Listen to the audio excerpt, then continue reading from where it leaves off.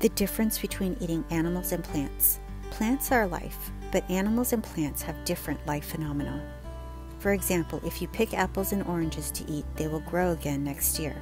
The more you pick bamboo shoots, the more they will grow the following year. But if you don't cut them, they won't grow as much. The same can be said with vegetables such as loofah. You only need to keep one of its fruits, and it will produce a lot of seeds. Plants generally don't mind being eaten because their lives depend on animals eating them to spread their seeds to other places and help them produce their next generation.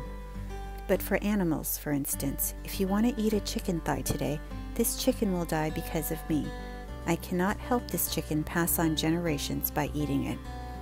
Therefore, picking or cutting plants for food is different from killing animals for food.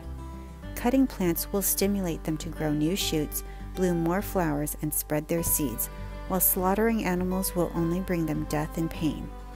So we would not say slaughtering plants or picking animals. Plants, animals, and humans all have their bodies and energy, and they react differently to the environment. But compared to plants, animals and humans have an extra energy field of emotion. Some people call it an astral body. In Buddhism, it is called sentient beings so as to be distinguished from insentient beings like plants. Animals have emotions just like humans.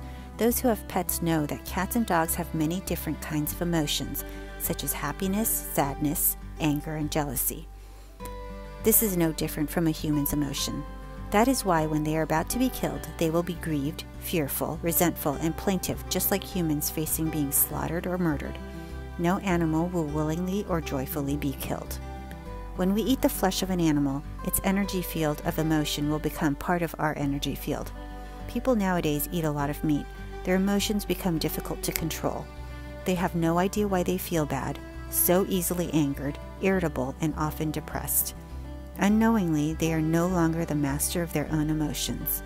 The law of the universe is this all the energy that I cast into the universe will return to me.